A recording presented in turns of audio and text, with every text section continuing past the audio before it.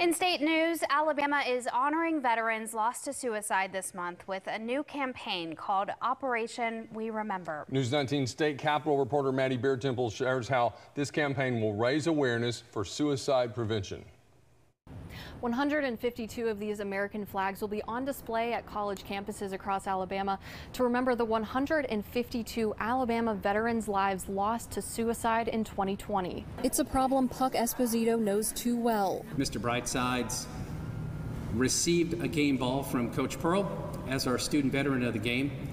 Four days later, I got a call that Mr. Brightsides was gone.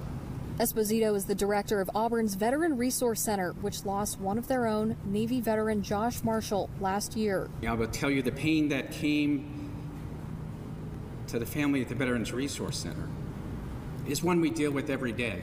Marshall's roommate, friend, and fellow veteran Clay Buchanan remembers him as the life of the party. Josh, uh, man, we call him Mr. Brightside for a reason. He, uh, the, the, song Mr. Brightside was his go-to karaoke song. Um, every every time we went out and did anything together, he was always singing Mr. Brightside. Buchanan doesn't want anyone to go through what his friend did and hopes the campaign encourages people to check in with one another. I want them just kind of, you know, be able to see those flags and kind of ask questions, know what they're, what it's about, know what it's for, and then kind of just, um, you know, reach out to someone they know, um, whether they're veteran or not, and just kind of make sure that, you know, everybody's good. The initiative was launched in part by the Department of Veterans Affairs and Department of Mental Health. Commissioner Kimberly Boswell says the state has taken steps to provide more mental health resources, like adding two new crisis centers next year and encouraging anyone with suicidal thoughts to call the National Suicide Prevention Hotline 988. I had the good fortune of knowing Josh's mom, uh, so I was aware of Josh's death. It was devastating for the family.